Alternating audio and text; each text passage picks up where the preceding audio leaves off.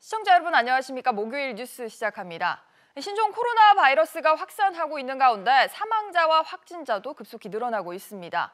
이런 가운데 문재인 대통령은 오늘 종합 점검 회의를 오전에 열고 필요한 모든 조치를 취하라고 지시를 했습니다. 자세한 소식은 취재 기자 연결해 보죠. 장가희 기자. 네, 장가입니다. 네, 신종 코로나로 인한 사망자와 확진자 어제보다 더 늘었다고요? 네, 그렇습니다. 중국 국가위생건강위원회는 오늘 0시를 기점으로 전국 31개 성에서 누진 확진자가 7,711명, 사망자는 170명이라고 발표했습니다.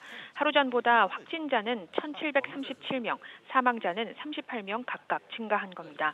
특히 발병지인 우한을 포함한 후베이 성에만 하루 만에 확진자가 천여 명, 사망자는 37명 급증했습니다. 그동안 중국 본토에서는 유일하게 확진자가 없었던 티베트에서도 확진자가 나오면서 중국 전역이 사실상 비상사태에 돌입했습니다. 네, 이런 가운데 문재인 대통령이 오늘 오전에 뭐 관련해서 메시지를 내지 않았습니까? 네, 그렇습니다. 문 대통령은 조금 전 정부 서울청사에서 열린 신종 코로나 바이러스 감염증, 감염증 대응 종합 점검 회의에서 국민 안전엔 타협이 있을 수 없다며 선제적 예방 조치는 빠를수록 좋고 과하다 싶을 만큼 강력해야 한다고 말했습니다.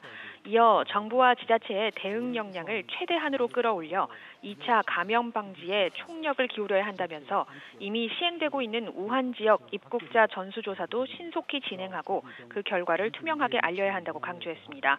문 대통령은 또 모니터링과 관리 체계를 강화하고 유입 경로가 유입 경로가 다양해질 수 있는 만큼 모든 공항과 항만에 대한 검역 강화 조치를 강구해 달라고 전했습니다. SBS CNBC 장가입니다.